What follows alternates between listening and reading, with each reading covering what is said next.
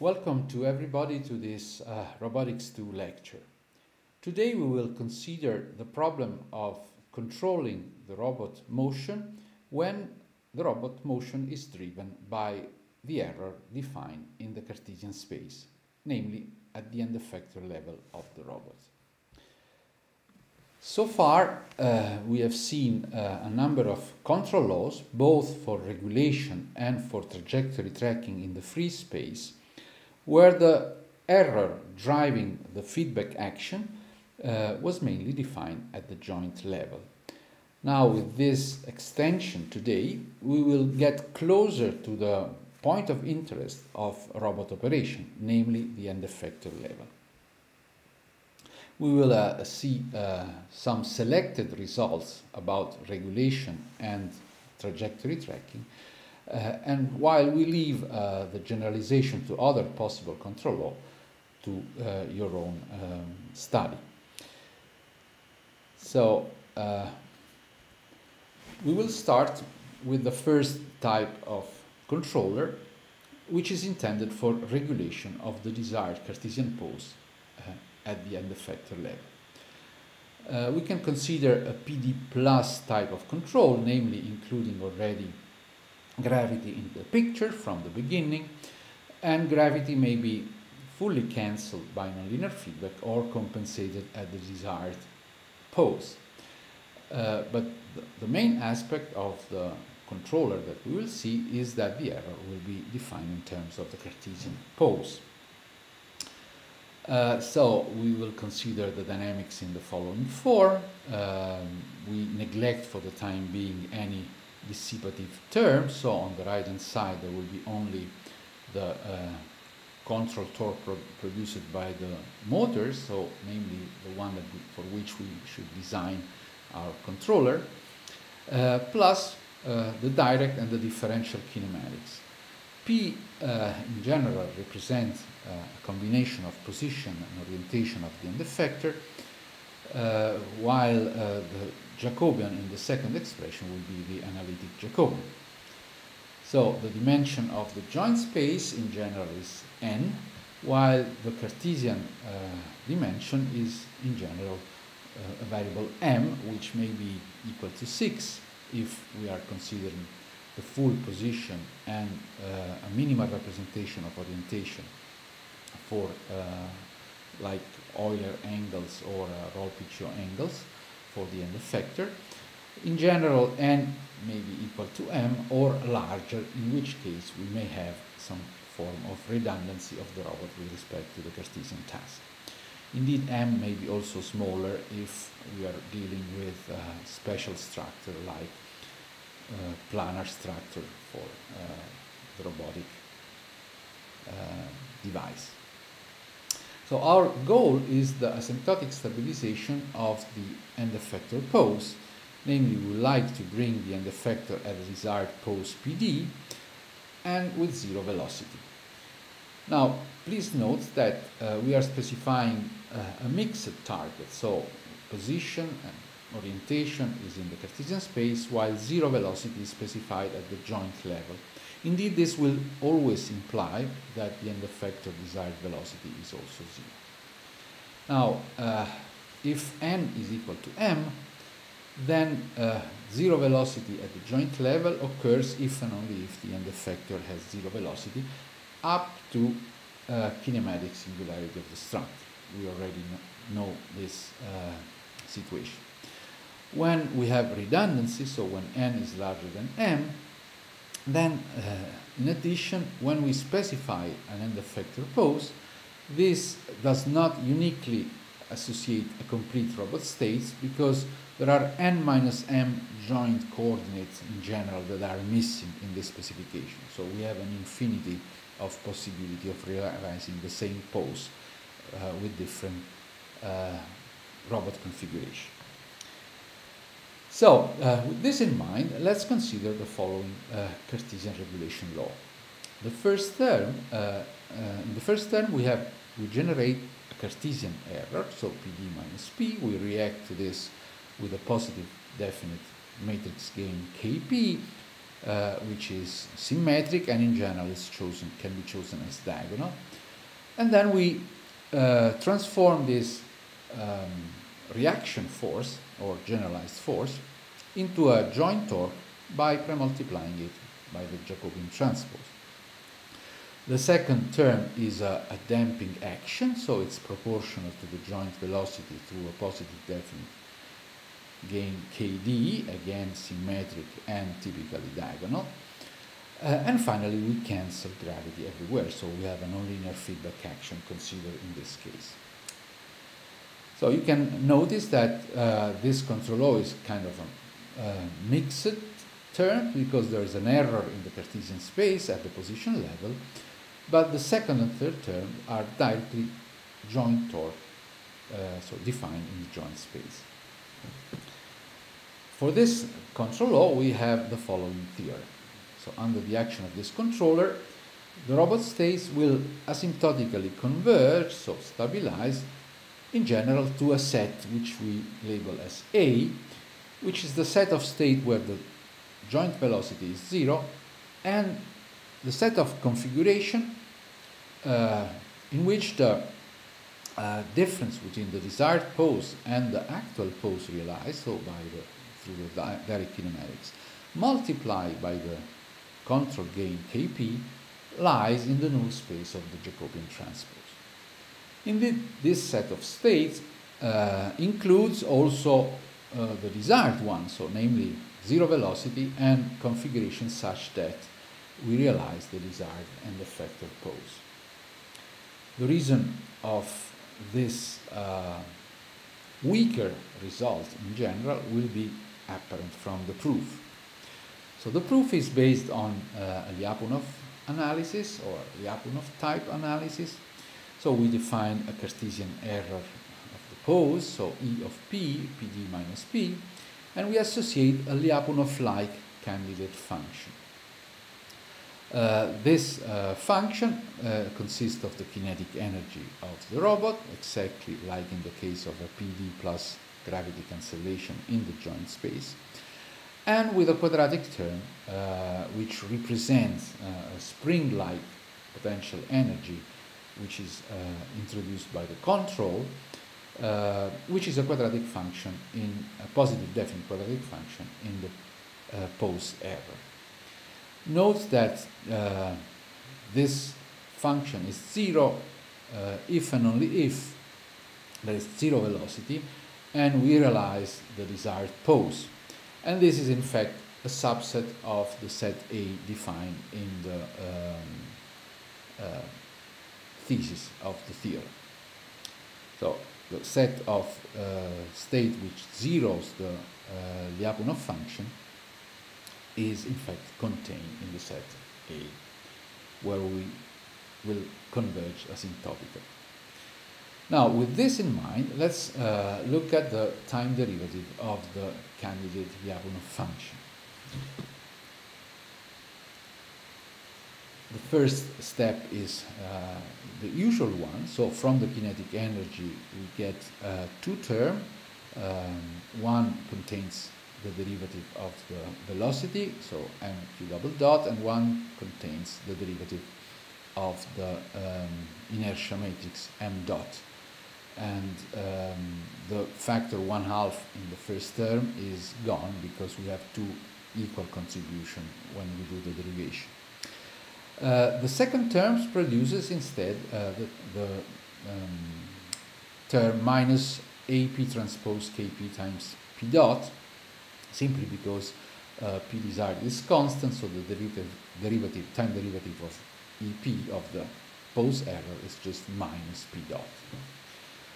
Now uh, we replace the dynamic model, so in instead of mq double dot, we write uh, u minus all the terms brought to the right hand side, so dropping dependencies as you see in this expression for compactness, u minus s q dot, where s is a factorization of the uh, Coriolis and centrifugal term, minus g, so these are the terms coming from mq double dot, uh, and the rest is remains the same.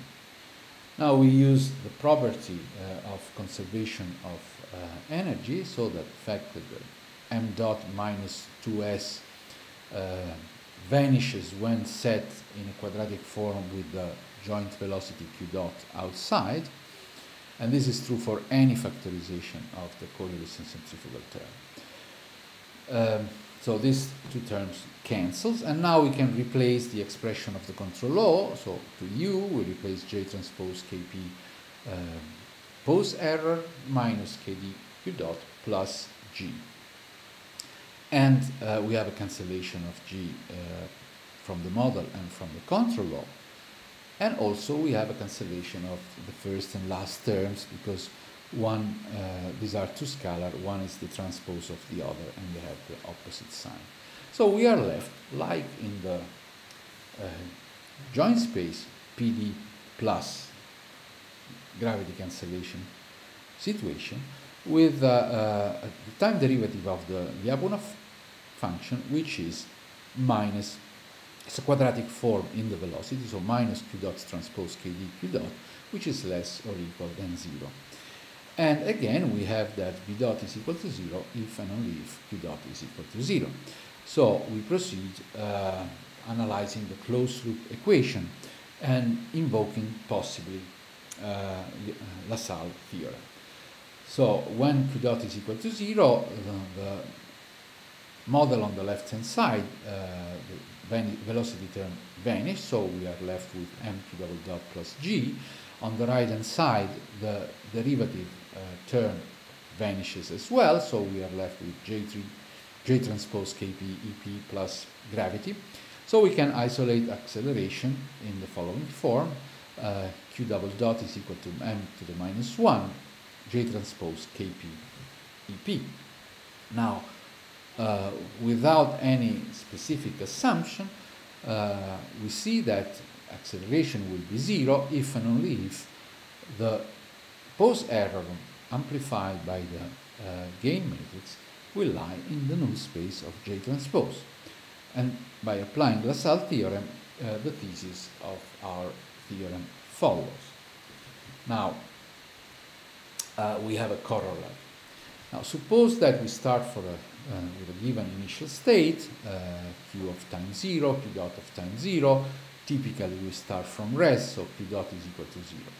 Now, if during motion uh, the robot en encounters no singularity of the Jacobian transpose, so in general configuration where the rank of J transpose is less than m, which is less or equal than n, when m is equal to n, this means that uh, the Jacobian transpose as well the Jacobian are never singular as matrix, then we have asymptotic stabilization to a single state if m is equal to n, or a set of state if m is less than n, such that uh, the pose error is zero and the velocity at the destination is zero as well. So exactly what we wanted to achieve.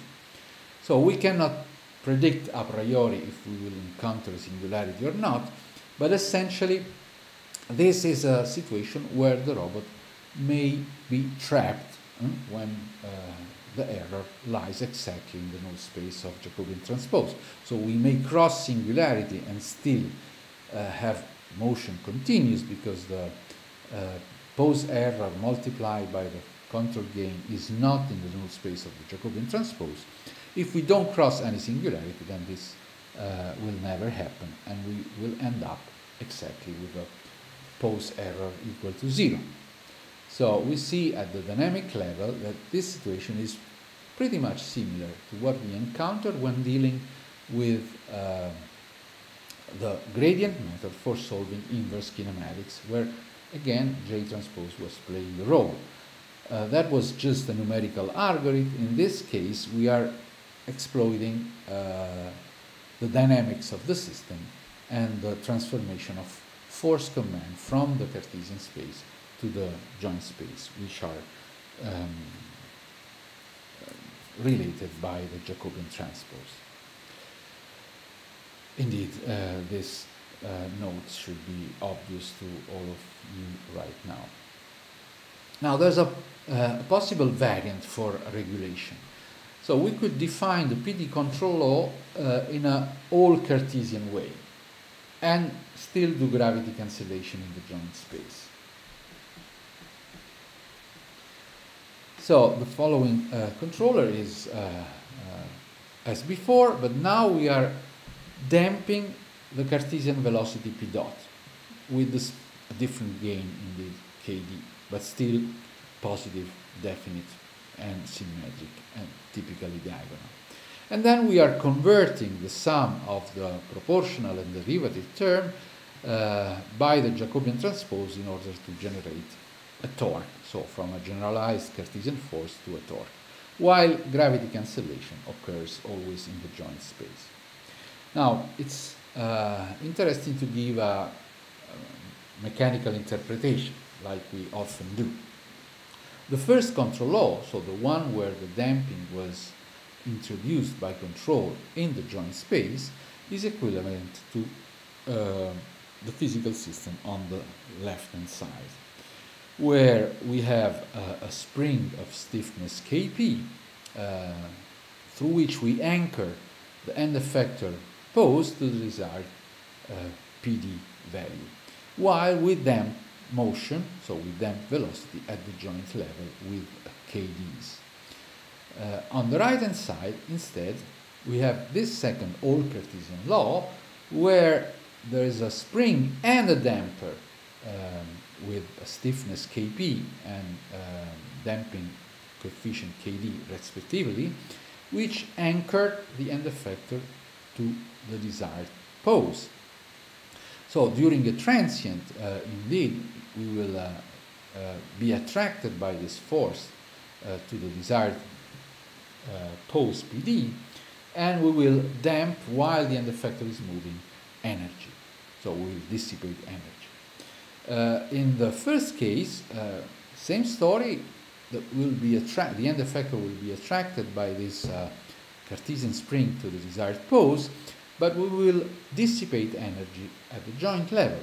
And I've chosen here uh, a 3R planar case uh, with or without gravity. If gravity is present, it is being cancelled by the last term in the controllers.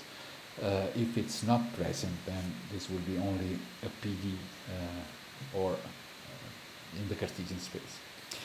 So uh, I chosen a redundant arm for a planar task, so n is equal to 3 and m would be equal to 2 in this case, just the position, to show that the difference between the two possible variants for regulation. In the first case, even if we reach the final destination for the end effector, we will continue to damp any residual joint velocity uh, in the joint space. Uh, in the second case, instead, we will have the possibility of having self-motion, which is undamped as long as uh, this does not move the end effector. In fact, only moving the end effector will dissipate energy with the second controller. This is why I would prefer, in general, the first uh, regulator as opposed to this second one, which is more uh, all Cartesian defined, so in principle it fits better to the classification that we have given ourselves, but in fact it may have problems in the, in the presence of redundancy. In both cases, uh, the error uh, in position is always driven by the Cartesian pose error. So this uh, uh mechanical interpretation is uh, again confirming that the control laws are transforming some virtual elastic force in the first case or virtual viscoelastic force in the second case, force and torque in general, if we uh, expand the situation from position to the general pose. Uh, and those forces are acting on the end effector, and the Jacobian transpose is used to convert them in control torque. So we have a nice interpretation in this case. But we don't use, in a sense, when we're de dealing torque control, uh, inverse or pseudo-inverse of the Jacobian. Just use the transpose of the Jacobian because we are converting dynamically forces, either of the elastic type or of the viscoelastic type in the two um, presented regulator. Now, uh, let's move to the case of trajectory tracking. And we will consider in particular a design based on feedback linearization. So again, the robot is represented by the usual model, and we define some output for the system, uh, and to this output we will, be, uh, we will later assign some uh, desired trajectory. So this is the full pose or only the position, and in this uh, context we assume now that the number of Cartesian quantities that we are setting under control is equal to the dimension of the state space, so that the Jacobian associated to the direct kinematics P equal f of q will be a square analytic Jacobian. Now, uh, to design a feedback linearization controller uh, and then to use this for solving, addressing and solving the trajectory tracking problem in the Cartesian space, uh, the solution is not obvious in the first place. So we will use a, a technique which is uh, called inversion control of our system. Uh, we have some inputs, the number of uh, the torque u uh, number of n, and we have some outputs, so the pose variable p in the same number. And when if we would like to invert uh, this input-output relation, the algorithm works as follows. We should take the output and differentiate them as many times as needed until some input will appear. Now this operation is done in general uh, output component by output component, so we take the first component of the output, y1, and we differentiate it as many times at least at, uh, until at least one of the input torque appears. Uh, in the present case, we can do this for all outputs altogether. Now, when this happens, so when the input torques appear at a certain order, differential order of the output, then we verify if we can solve for the input from this uh, high order uh, differential equation. And then by solving, we cancel all nonlinearities. So let's look uh, at this general algorithm applied to our uh, problem at hand. So we start with y equal f of q. We take the first derivative y dot, and we have the Jacobian times q dot. Still, in both in y and y dot, there is no input u appearing. However, when we uh, reach the second differential order, so y double dot, which is equal to j q double dot plus j dot q dot, we are familiar with this derivation. Now we replace to q double dot the model, uh, the expression coming from the model. And in this expression, we have the appearance of the input torques u. So we stop the uh, algorithm at this stage, and we have a relation y double dot equal j multiplied by m to the minus 1, so the inertia, the inverse of the inertia of, of the robot inertia matrix, times u plus other nonlinear terms. Now, uh, can we solve for u here?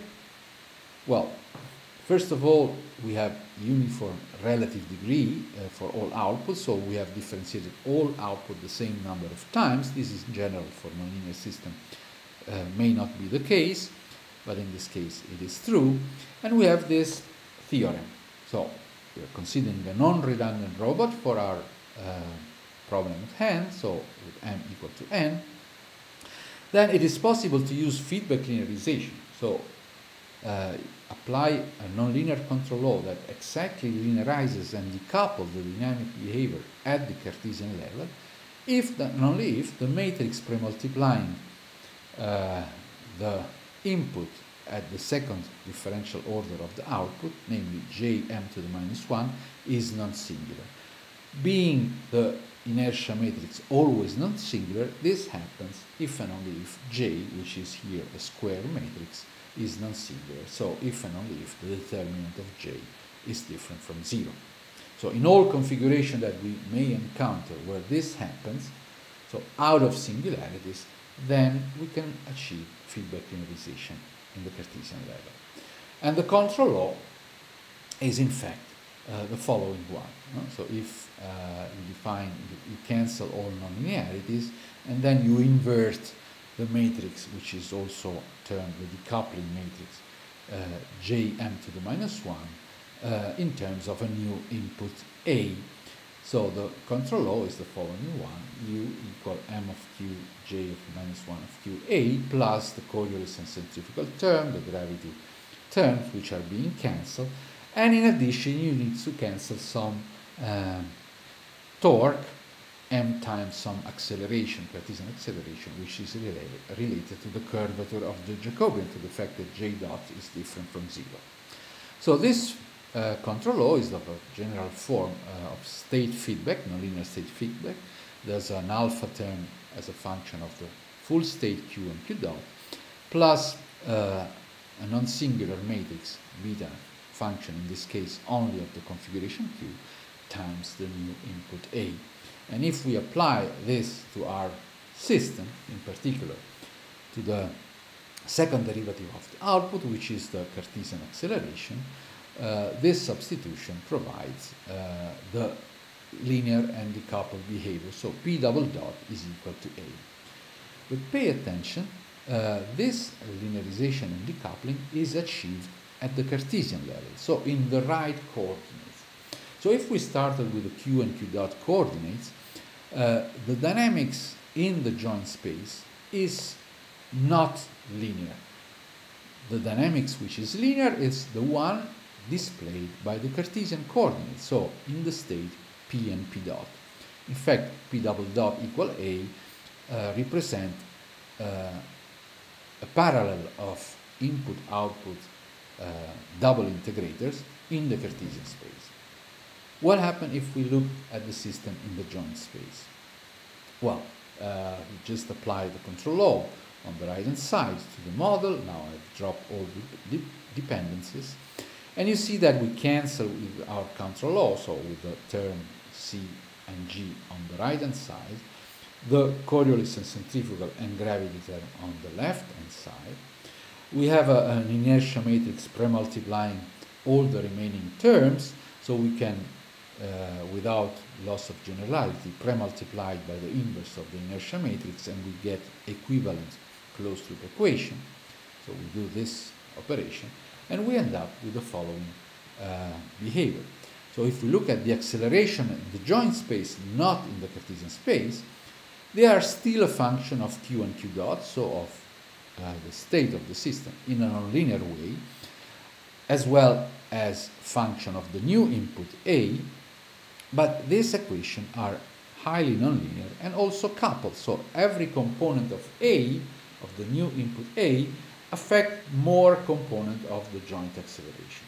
Whereas if we look at the system in the linearizing coordinates, each component of A affect one and only one acceleration component of P double dot. So it is important to realize that a feedback linearization works uh, in the right coordinates when we express the system in the right coordinates. Now we uh, uh, have a nice physical interpretation of what's going on. I show here on the left hand side uh, a generic articulated robot. This is a 3R uh, elbow type manipulator with the um, base joint Q1, the uh, shoulder joint Q2, and the elbow joint Q3, and the associated uh, applied torque. Now, if we move around this robot, uh, uncontrolled or subject to any control action which is not a Cartesian feedback linearization controller like the one we have just designed, then the inertia of this system will change with the configuration. And uh, if we move uh, the robot in different Cartesian or joint direction, uh, this inertia will be variable according to the configuration and the actual direction. Now, uh, if, moreover, we apply a force, no, assume that we are in a static situation, so that the velocity is zero, and we are applying some torque which balances gravity. So the system is an, in an equilibrium. Now suppose that we apply a control force at the end effector in some direction. It's a pure force in this case because the, the robot has uh, three joints, so n is equal to 3, and we are, would like to consider a square case. So the m uh, dimensional and the effector space is three-dimensional as, as well, so we are applying the force with component fx, fy, fz. If we have had a six jointed robot, we could consider also the static situation of equilibrium and the application of force and a moment. But let's stick with this simple situation at this stage.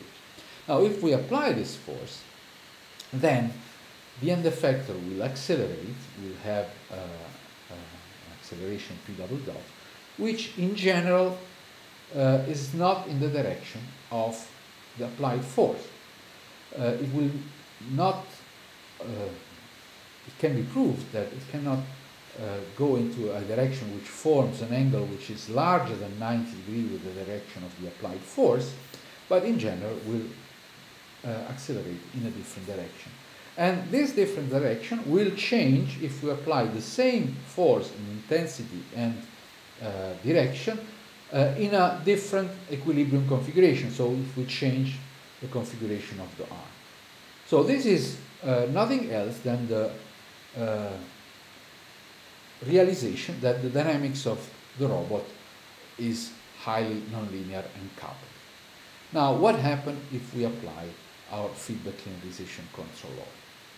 The system behavior will be that of a unitary mass placed at the end effector, uh, and the, the behavior of this mass will be uniform and constant in any direction and in any configuration of the robot, which is now transformed to this Cartesian mass. In fact, the equation of this mass uh, in the closed loop are simply m times a with m equal to 1, uh, sorry, m times uh, p double dot, so with m equal 1, p double dot equal a, exactly what we have written before.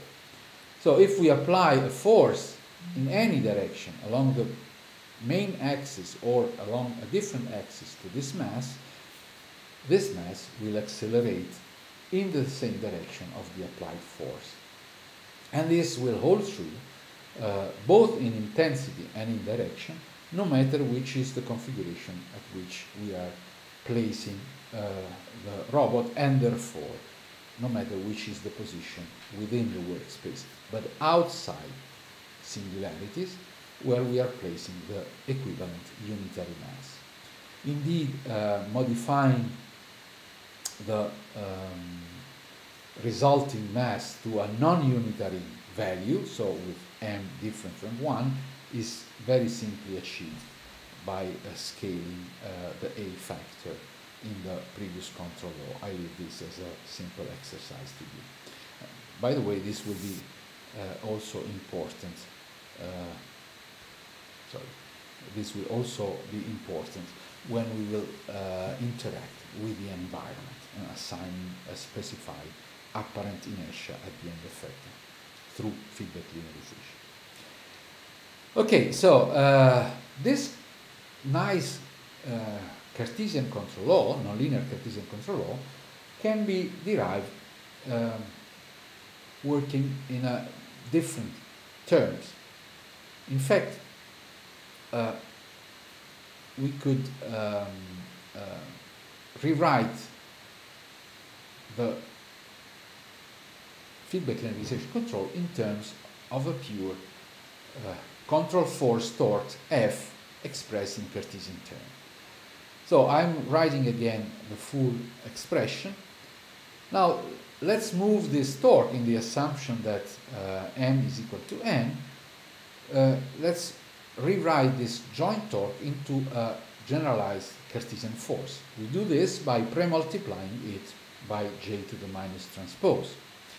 And what we get? On the left-hand side, we get uh, a Cartesian generalized force, while on the right-hand side, we have each term pre-multiplied by j to the minus transpose. If we reorganize this term as uh, shown in the slide, so we have the first term multiplying the new input a as j minus transpose m j to the minus 1.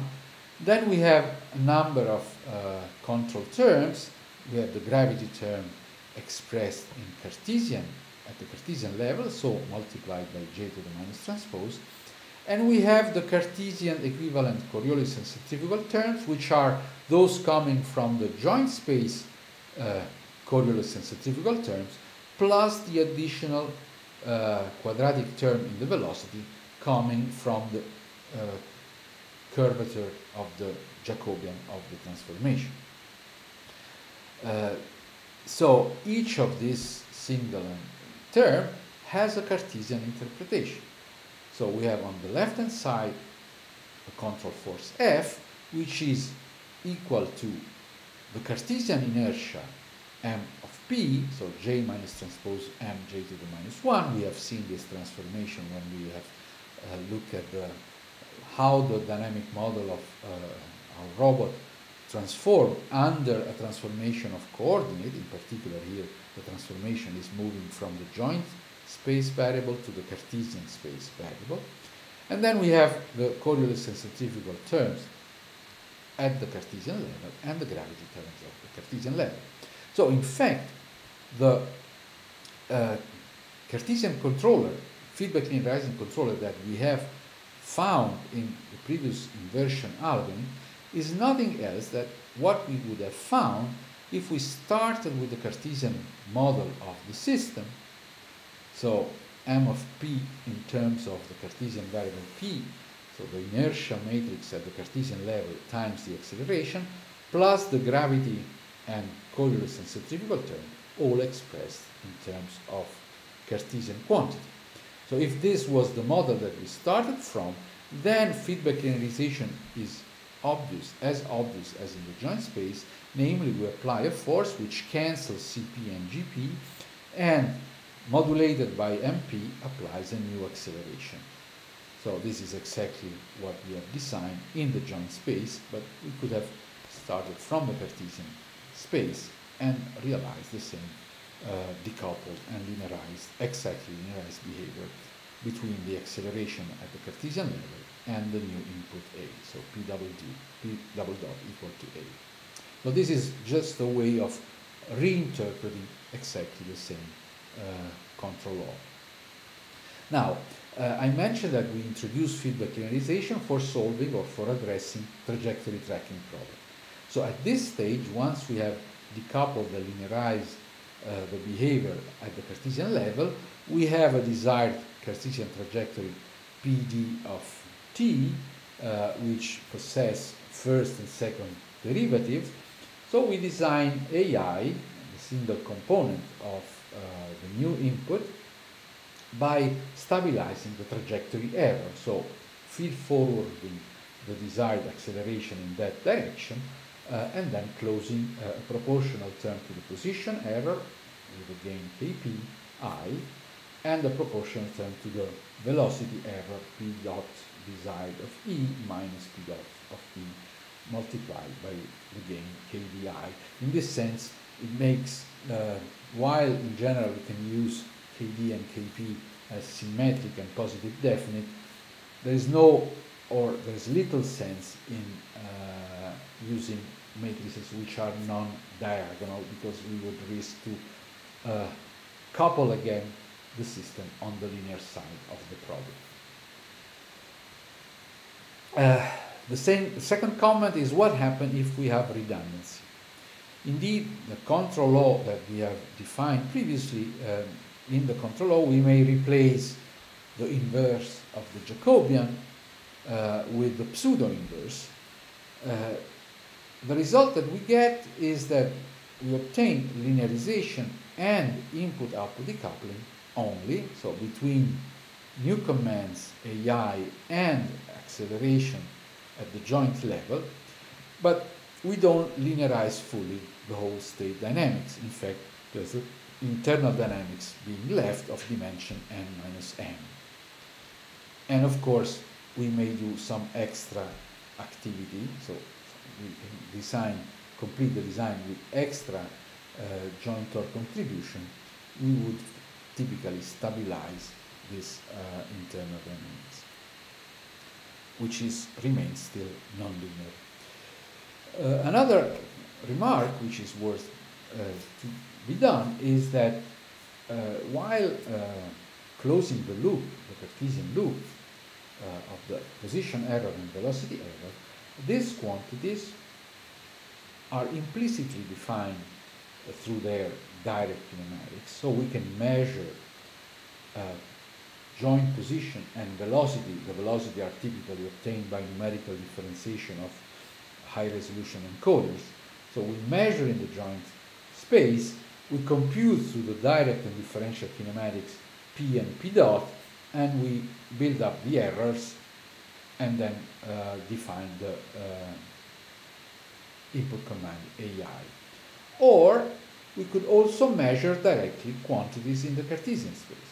So for instance, we can use uh, a vision system, so camera, which overlook the operation of the end effector, measure the actual pose, uh, maybe with a stereo system, so we have a position and also some information about the orientation, or the complete information about the orientation.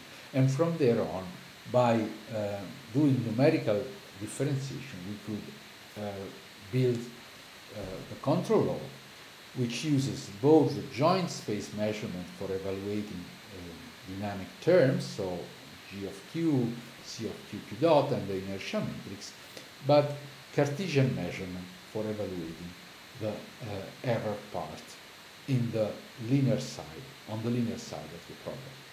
Indeed, if we are using cameras, the frame rate at which we can update commands is typically slower at the, at the rate at which we acquire information from an encoder in the joint space, and this would hamper the behavior uh, of the uh, linear stabilizer on the Cartesian side.